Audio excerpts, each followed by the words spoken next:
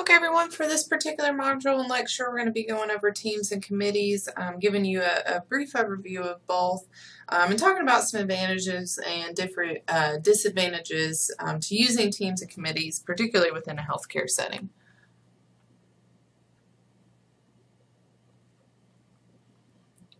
So the first thing as I uh, bring this slide up that I want to make sure to go over um, and make sure to point out is that all departments, particularly within a healthcare facility, um, and I'm sure this is true um, across other industries, but particularly in a healthcare facility, departments are very interdependent um, on each other.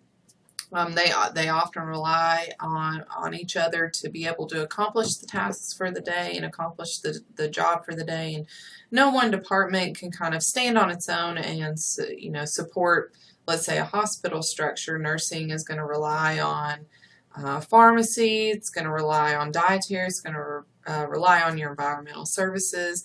Um, so each department is really interdependent on the other departments. So it's important that we kind of foster this team atmosphere so that we make sure we're all working together as a team and no one's kind of working um, independently or kind of going rogue on their own.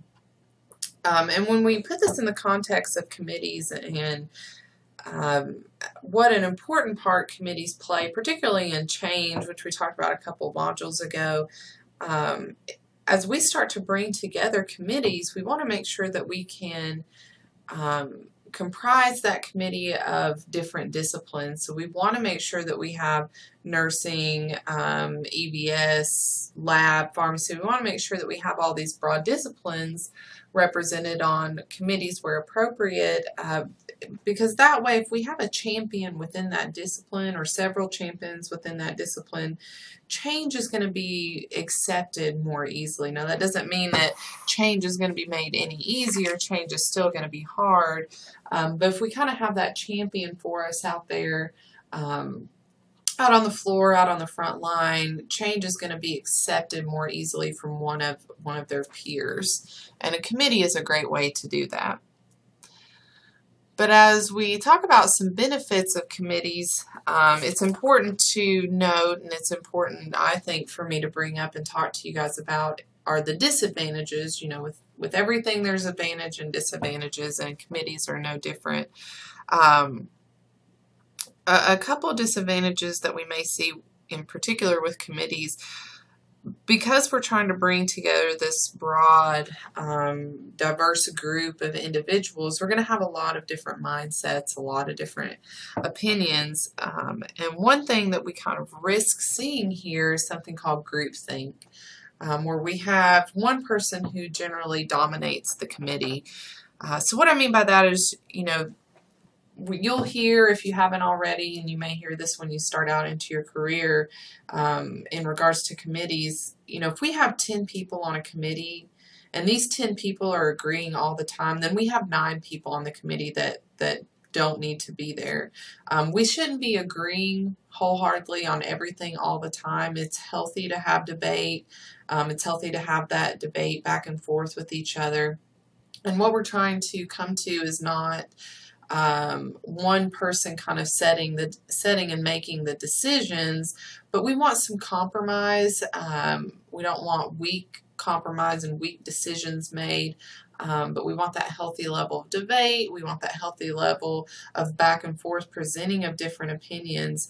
Um, and what we're trying to reach is a consensus. Um, and unfortunately, sometimes committees, depending on how you structure them, can lead themselves uh, to some kind of level of groupthink if we're not careful.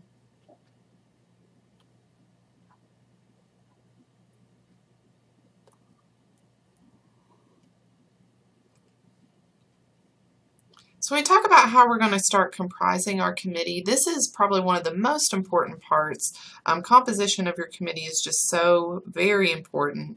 Um, one thing we want to make sure to watch out for um, and we may put ourselves in a little bit of danger of experiencing um, is that we don't put um, people on the committee that are of the same organizational rank.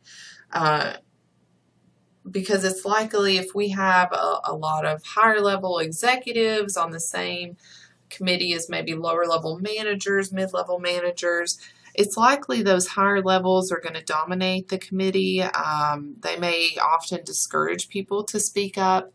Um, so we may kind of be extinguishing innovative thoughts and ideas before we can even get them to the forefront. So when we talk about composition of committee, one thing we want to kind of keep in the back of our mind and make sure that we're staying cognizant about is that the members of the committee are all of the general same organizational rank so that people feel comfortable expressing their opinions.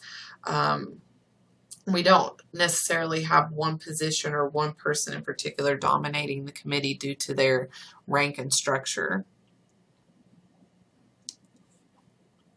I also want to know, you know, committees are a great way um, to kind of display your talent out there. Um, and they're a great opportunity for advancement for your career, particularly in healthcare. Um, you know, you want to be noticed, you want to be noted for your skills and your talents that you bring to the organization. And serving on committees and being active in committees is a great way to do that. Um, and your source of advancement up through the rank of the organization will come more likely, uh, more often than not, through committees and your involvement in those committees.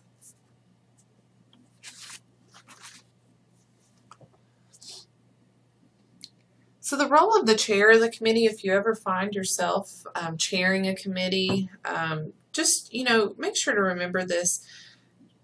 That particular role, that chair, um, or, you know, if you do find yourself in that particular role, you are going to set the culture for the committee. Um, and people are going to be watching how you act, how you conduct yourself. Um, so we want to make sure that we're setting a role of, of compromise, that we're setting a role of um, open idea exchange and flexibility, and not a culture of domination. Um, because if we have a, a chair that kind of dominates, what we're going to see, like I said earlier, is we're going to see the extinguishment of ideas, of creativity. Um, so we want to have, you know, a great diversity um, in our committees. Um, because there is going to be strength and diversity. So we want to be very cognizant um, if you are serving in the role of a chair of a committee, what what tone um, and what kind of culture you're you're setting and displaying for those that are serving on the committee with you.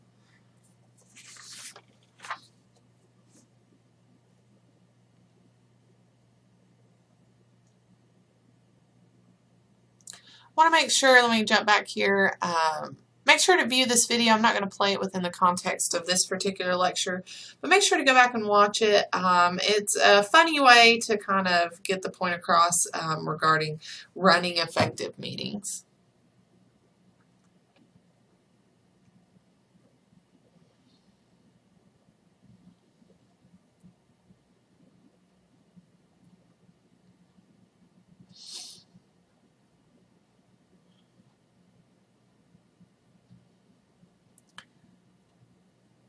Using, uh, we just went over brainstorming in meetings. Um, now using brainstorming meetings is a great way to get um, as many ideas out as possible. And we often use this in practice um, in the hospital, particularly with uh, my background in quality improvement. This was our main form um, of meetings uh, regarding you know different experiments, different ideas that we were going to try within quality improvement.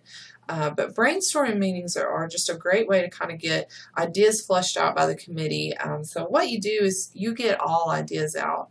Um, we want to make sure that we're careful not to criticize um, any ideas that are coming out because as soon as we start criticizing people people, committee members are going to start shutting down, not wanting to offer their ideas, and we may miss that, you know, that golden ticket idea that's out there that could really change the way that we deliver care to our patients or the way we deliver um, processes, uh, the way we have our, our business organization set up. So we, we don't want to limit ideas, we don't want to limit creativity, so we want to encourage our committee members to get all the ideas fleshed out on the table, and then we can go, go through as a committee and as a group and start evaluating each of those ideas. Now, I want to caution against um, vote taking um, during during um, um, meetings uh, such as this, um, because our goal with this is to reach a consensus. Now, I know oftentimes vote taking does happen within certain contexts of meetings, um, but in this case in particular, vote taking can kind of be a little detrimental um, because, you know, it goes back to Stephen Covey. We want to avoid that win lose mentality. You know, when I win, you lose. Um, what we don't want to do, and what oftentimes happens when we do this vote taking structure, is we start to pit pit some against others. Um, so the last thing we want to do is for a committee member to go back to their department and say something to the effect of, well, I was outvoted or I was overruled. We want to make sure that we're coming to a consensus as a group. That's our whole goal of serving on these committees.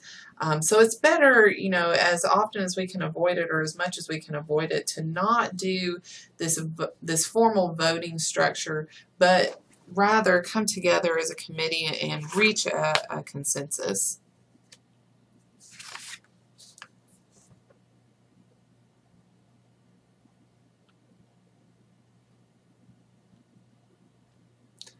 Again, guys, make sure to go back. Um, funny little video, but gets the point across about serving on a team and the importance of serving on a team. Won't play it in the context for this lecture, but please make sure to go back and watch it.